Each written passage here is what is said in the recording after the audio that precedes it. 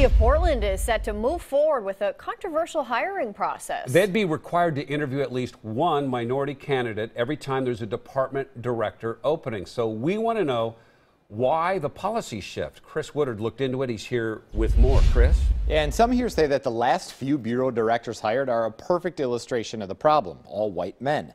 But others worry that a process like this could prevent the best and most qualified person from getting the job. Well, it works in the, the NFL and it works in colleges. For park ranger Sam Sachs, the inspiration was simple. No. Gets the block, throws it down the field, has a Football.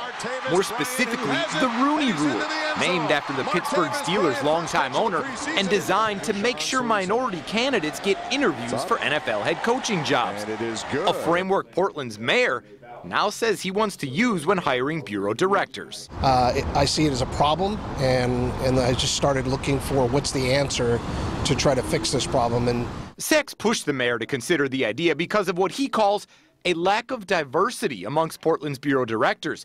In fact, I looked, and all of the city's most recent director appointments have been white men. On top of that, I found just last month the city's equity committee sent the city council this letter voicing concerns about the practice of appointing bureau directors without an open and competitive recruitment process. Demographics are not changing, they've changed.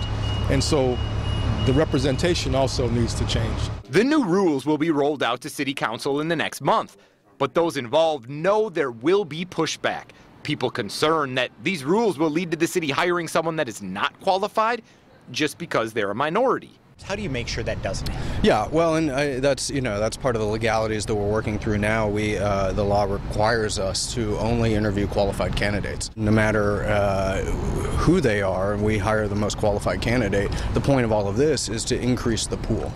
The city leaders believe they would be the first city in the country to put such a plan in place, thanks to a pushy park ranger. But the vision is to really consider qualified minority candidates for all of these director positions. That's my vision. And once the mayor's office finishes crafting the details of this plan, it will need approval from the full city council. Back to you. All right, and keep us updated, Chris. Thank you.